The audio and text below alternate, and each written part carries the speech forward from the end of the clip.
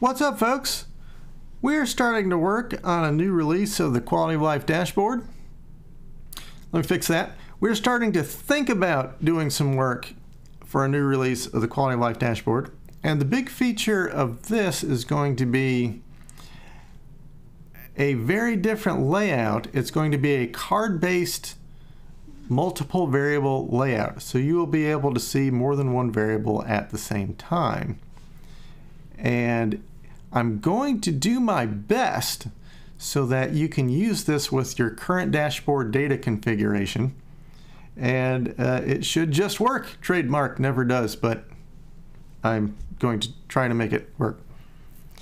This is a very different kind of layout for me. Uh, I usually you hope as a designer and a developer, you know the best way to lay stuff out and that's how you lay it out. When you have an interface like this, you're relying on the website user to know the best way to lay things out, and that's usually a terrible idea. But in this case, it's absolutely vital to have this functionality. And and you'll see why when I show you the layout. When I do this kind of stuff, it usually starts out on paper and pencil in a sketch that I would understand, but anybody else would think are the ravings of a troubled mind. When I need to communicate that to other people, I'll do that in Inkscape. And what I use is something by created by Manjit Karve. Thank you very much. He's got a couple really good posts on using Inkscape for UI design, and he also has a template you can use. And the template is essentially a web browser shape, a page set up to like a 1080p, and some basic elements in what their size would be at about 1080p. And you can just duplicate these and drag and drop and use your color dropper to pick, set up whatever color palette you want and whatever fonts you want and make a layout. So thank you very much, Mandit. I hope I didn't murder your name for that. I'll link to that in the notes. This is the basic idea of what the dashboard would look like. And you would have multiple metrics, as many as you want, essentially. And one of them would be focused, and that one would look like this. It would see the charts and the map at the same time. The map would be interactive. You'd also get the, the data table you see now on the dashboard for whatever you have selected, etc. And the smaller ones, what they would have is those the graphics, the charts and the map would be on a carousel and the map would be zoomed out to full scale and non-interactive. So essentially for the smaller ones, you can have the multi-smaller map kind of layout, which makes it easier to compare general trends. Then how you would arrange these is you could just drag and drop them to rearrange them, and whatever you drag to the big spot will get the big spot treatment. And that's the general idea and it would hopefully be a lot cleaner layout. We're going to, like half the current dashboard is metadata, which if you're into metadata, I'm sorry, but no one else is. So we're, we're going to hide some of that away that you can get to it through an interaction. So it should be a much cleaner layout as well. Now this layout is a lot different, as I said, from what I usually build. So after I get a design, I usually like to wireframe it in so I can see the frame of where everything is going to go. And this is so unusual, I didn't want to do this as part of working on some code. Plus, we're not ready to work. Again, we're just thinking about doing work at this point. I will do that sort of thing in a scratch area, and in this case, I use CodePen, which is awesome. And this is what it looks like, and it's responsive, so things will rearrange themselves as they need to and you can drag, it's already mixed because I've been dragging stuff around, but it starts out in a regular order and you can drag stuff around to change the order and it shows you some highlighting to show where you're dragging and dropping stuff to. So put this back in the right order. That's the interface. Now, how did I make this? This is this is the only interesting part of this video, unless you're just interested in future quality of life updates. How I made this is the layout is using CSS Grid. CSS Grid for this kind of thing is perfect.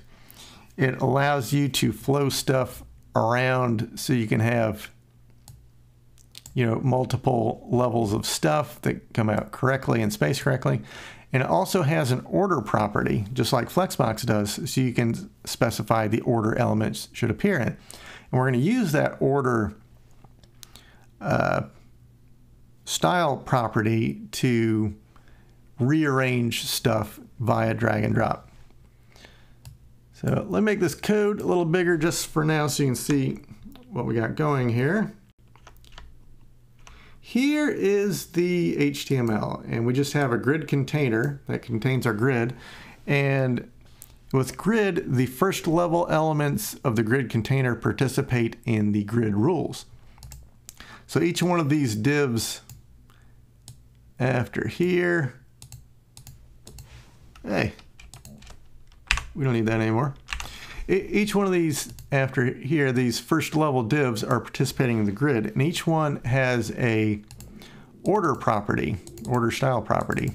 And it's just one, two, three, four, five for what we have out there. Uh, the first item in the grid also has this grid first class, and that tells it to be essentially the size of twice the other's width and height plus the grid spacing. That's how we get this big number one here. That's also going to be useful for when we want to do something like style something differently, uh, like our slideshow or, or gallery slider for the, the graphics on the smaller items.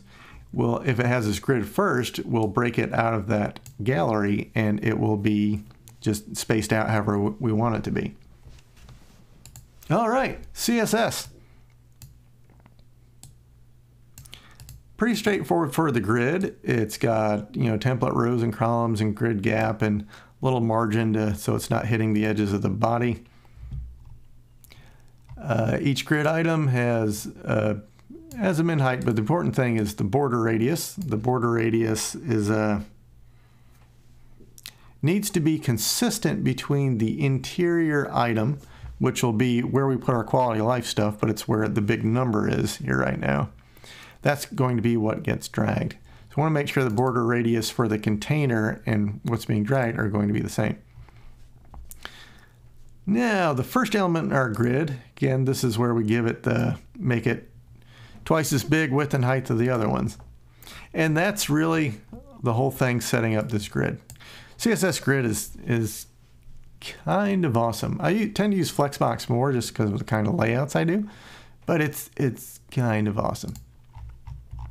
So, on to JavaScript, the fun stuff. We've got really two two groups of uh, cats we're dealing with here. We have the draggers, and those are the interior div items that have the number in it. And you notice they have this draggable HTML attribute set to true. You can do that to any attribute in HTML5, it makes it true. Of course, if you drag it, once you drop it, nothing's gonna happen unless you specify what you want to happen in JavaScript. But all five of these interior guys are draggable. So for each one of those draggers, we say on drag start, we want to set some data that's going to be passed to where it gets dropped to. And here we're just taking the style the order of the parent. So this number two, div draggable number two, the parent has an order of two. So that number two is going to get passed to whatever we drop this thing onto. Neat, huh?